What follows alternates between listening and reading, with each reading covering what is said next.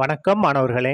இந்த வீடியோவில் பதினொன்றாம் வகுப்பு கணிதம் அத்தியாயம் பதினொன்று தொகைநுண் கணிதம். இதில் எடுத்துக்காட்டு பதினொன்றில் முப்பத்தி இரண்டு பார்க்க போகிறோம் என்ன கொடுத்துருக்காங்க பாருங்கள் பின்வருவனவற்றை மதிப்பிடுக.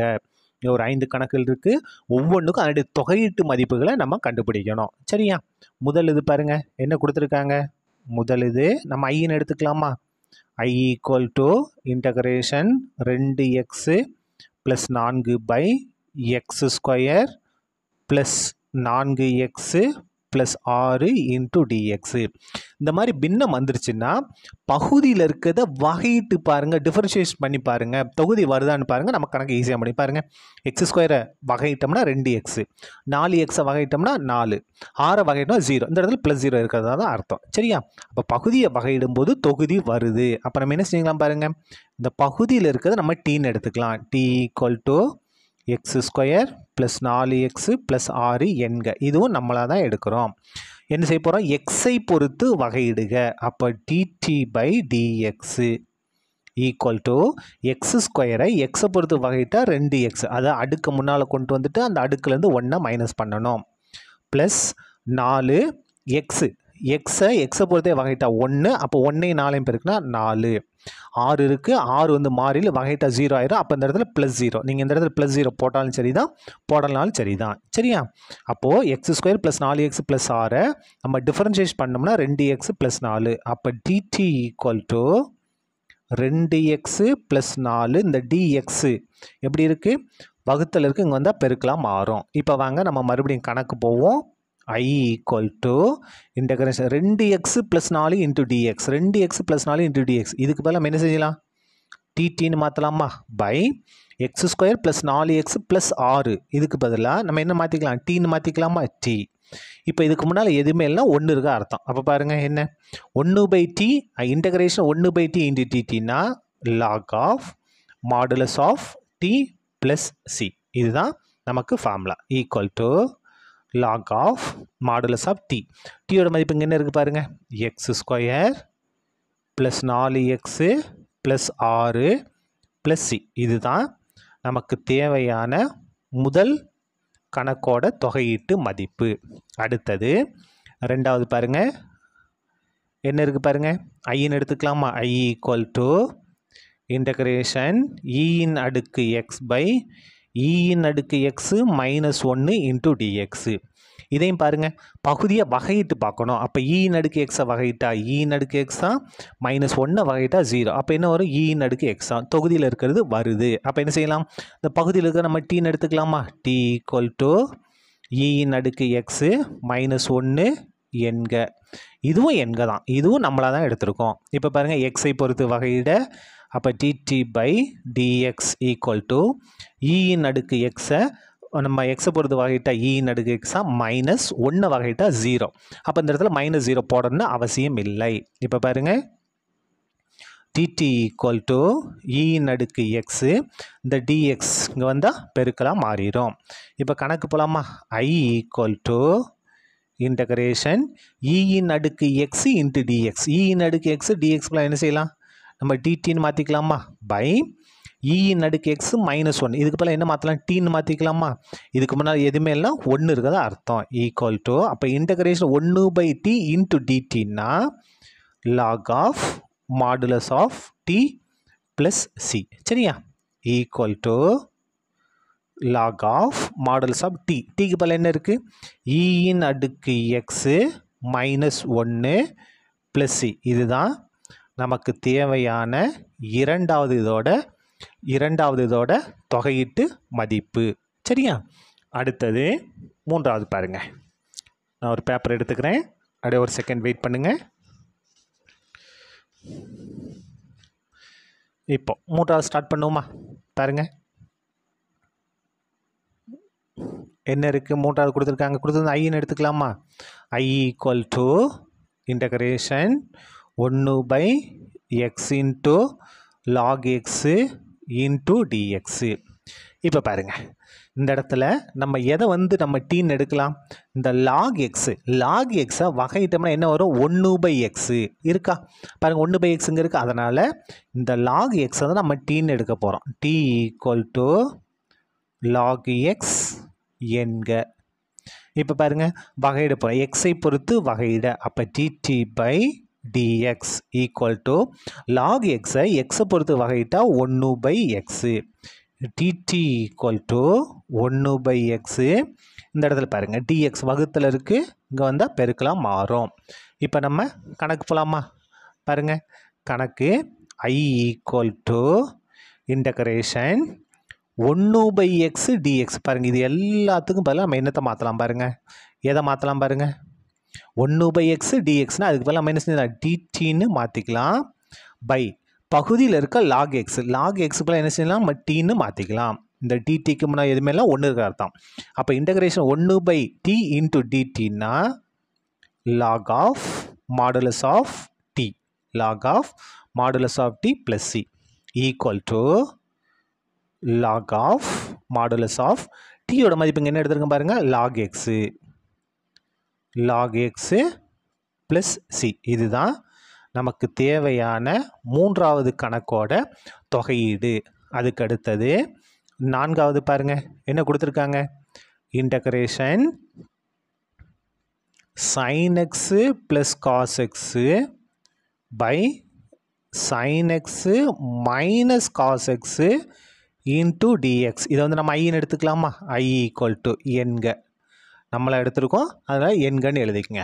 இப்போ பாருங்கள் பகுதியை நம்ம வகையிட்டோம்னா தொகுதியில் இருக்கிறது வரும். சைன் எக்ஸை வகையிட்டோம்னா காஸ் எக்ஸு மைனஸ் காஸ் எக்ஸை வகையிட்டோம்னா மைனஸ் சைன் எக்ஸ் இங்கே ஒரு மைனஸ் இருக்கா? அப்போ மைனஸ் ப்ளஸ் சைன் எக்ஸாக மாறிடும். இங்கே இருக்குது அப்போ நம்ம என்ன செஞ்சுக்கலாம்? பகுதியில் இருக்கிறத நம்ம என்ன எடுத்துக்கலாம்? டீன்னு எடுத்துக்கலாம். Sine x minus cos x எக்ஸை பொறுத்து வகையிட. அப்போ dt by dx equal to sine எக்ஸை எக்ஸை பொறுத்து வகையிட்டோம்னா காஸ் எக்ஸு மைனஸ் காஸ் எக்ஸை எக்ஸை பொறுத்து வகையிடுறோம். வகையிட்டால் என்ன வரும்? மைனஸ் சைன் எக்ஸு இங்கே ஒரு மைனஸ் இருக்குது அப்போ என்ன மாறிடும்? ப்ளஸ் சைன் எக்ஸ்னு மாறிடும். நமக்கு டிடி தான் வேணும்.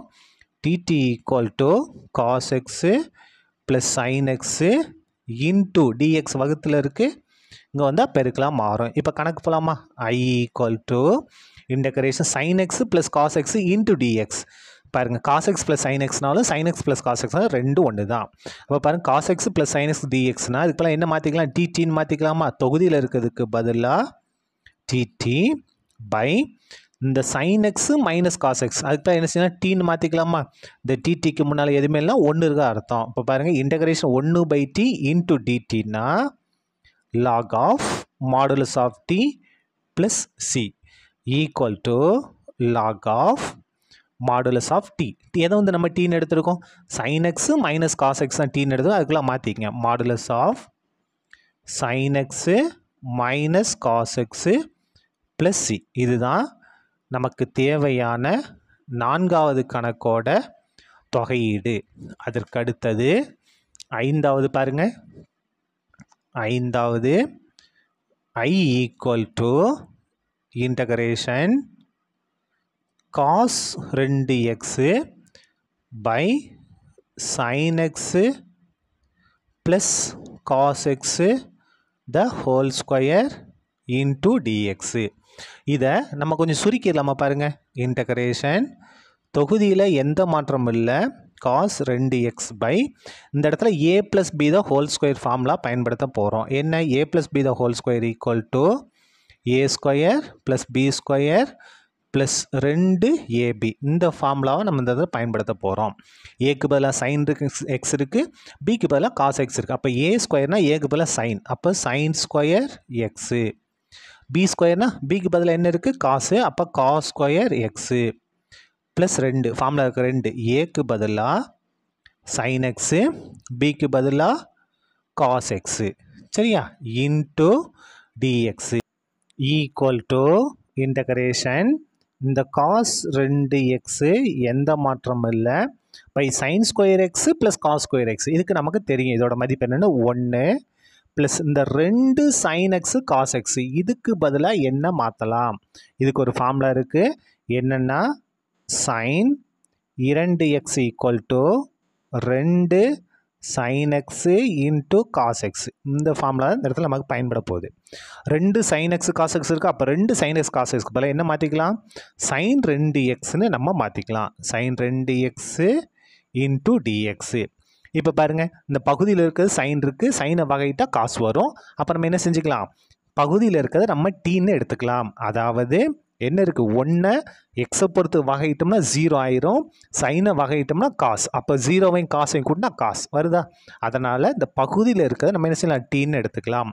ஒன்று ப்ளஸ் சைன் ரெண்டு எக்ஸு எக்ஸை பொறுத்து வகையிட. அப்போ டிடி பை டிஎக்ஸ் இதை வகைட்டுமே என்ன ஆயிரும்? ஜீரோ ஆயிரும். ஜீரோ ப்ளஸ் ஜீரோ ப்ளஸ் அங்கே சைனை நம்ம வகையிட்டால் காஸ் காஸ் எக்ஸ் எக்ஸுக்கு விலங்கு என்ன இருக்குது ரெண்டு எக்ஸு திரும்ப என்ன செஞ்சாகணும்? நம்ம சைனை தான் வகையிட்டோம். திரும்ப இந்த ரெண்டு எக்ஸை வகையிடணும். அப்போது எக்ஸை எக்ஸை பொறுத்தே வகையிட்டா ஒன்று ஒன்று ரெண்டு பெருக்குனா ரெண்டு. அப்போ பெருக்கல்ல ஒரு ரெண்டு வரும். இப்போ பாருங்கள் டிடி ஈக்குவல் டு இந்த ப்ளஸில் இருக்க ஜீரோ எதுவும் ஆகப்போதை விட்டுடலாம். காஸ் ரெண்டு எக்ஸை ரெண்டே பெருக்கினா என்ன வரும்? ரெண்டு காஸ் ரெண்டு எக்ஸு இந்த டிஎக்ஸு இங்கே போனால் பெருக்கலாம் மாறிடும் அடுத்த ஸ்டெப் பாருங்கள் நமக்கு இங்கே என்ன இருக்குது பாருங்க. காஸ் ரெண்டு எக்ஸு டிஎக்ஸாக இருக்குது ரெண்டு இல்லை. அப்போ இந்த ரெண்டு இந்த பக்கம் கொண்டு வகுத்துருவோம். அப்போ டிடி பை இரண்டு ஈக்குவல் டு என்ன வரும்? காஸ் ரெண்டு எக்ஸு இன்டூ டிஎக்ஸு இப்போது நம்ம கணக்கு போகலாமா பாருங்கள் ஐ இந்த இடத்துல கொண்டு ஸ்டாப் பண்ணியிருக்குமா? இதில் இருந்தால் இப்போ நம்ம கணக்கே ஆரம்பிக்க போகுது. பாருங்கள் I equal to integration cos ரெண்டு எக்ஸ் டிஎக்ஸு காஸ் ரெண்டு எக்ஸ் டிஎக்ஸ் பதிலாக நம்ம என்ன மாற்றலாம் டிடி பை இரண்டு. டிடி பை இரண்டு. இது தொகுதி இது பகுதி. அதுக்கு அடுத்து பாருங்கள் இங்கே என்ன இருக்குது ஒன்று ப்ளஸ் காஸ் ரெண்டு எக்ஸ் ஒன்று ப்ளஸ் காஸ் ரெண்டு எக்ஸ் நம்ம என்ன மாற்றிக்கலாம் டீன்னு மாற்றிக்கலாம் இந்த இடத்துல ஏதாவது கன்ஃபியூஸ் ஆகிற மாதிரி இருக்கா? பாருங்கள் காஸ் ரெண்டு எக்ஸ் டிஎக்ஸ்னால் டிடி பை இரண்டு. இந்த வகுத்தில் இருக்கிறனால பகுதியில் வரணும். அதுக்கப்புறம் ஒன்று ப்ளஸ் காஸ் ரெண்டு எக்ஸ்ங்கிறது பகுதியில் தான் இருக்குது இதோட மதிப்பை நம்ம டீன்னு எடுத்துட்டோம். அந்த டீயை பகுதியில் எழுதியாச்சு. இப்போ பாருங்கள் இதுக்கு முன்னால் எதுவுமே இல்லை. ஒன்று இருக்க அர்த்தம். இல்லையா? அப்போ ஒன்று இந்த இதை வெளியே எடுத்துருவோம். ஒன்று பை ரெண்டுன்னு வெளியே வருமா? வெளியே வரும்போது ஒன்று பை ரெண்டு இன்டகரேஷன் டிடி பை இதுக்கு முன்னால் எது இல்லைனா ஒன்று இருக்கா அர்த்தம். இந்த ஸ்டெப்பில் எதாவது கன்ஃபியூஸ் ஆகுதா? ஒன்று பை ரெண்டு நம்ம வெளியே எடுத்துட்டோம். அப்போ இதுக்கு முன்னால் எதுவும் இல்லைனா ஒன்று இருக்கா அர்த்தம். அப்போ ஒன்று பை டி இன்ட்டு டிடினா லாக் டி ஒன்று பை ரெண்டு log of modulus of t plus c equal to ஒன்று பை ரெண்டு லாக் ஆஃப் டி டீயோட மதிப்பு என்ன பாருங்கள் ஒன்று ப்ளஸ் சைன் ரெண்டு எக்ஸு மாடுலஸ் ஆஃப் ஒன்று ப்ளஸ் சைன் ரெண்டு எக்ஸு ப்ளஸ் சி இதுதான் நமக்கு தேவையான ஐந்தாவது கணக்கோட தொகையீடு. அவ்வளோதான் இந்த கணக்கு முடிந்தது. நன்றி.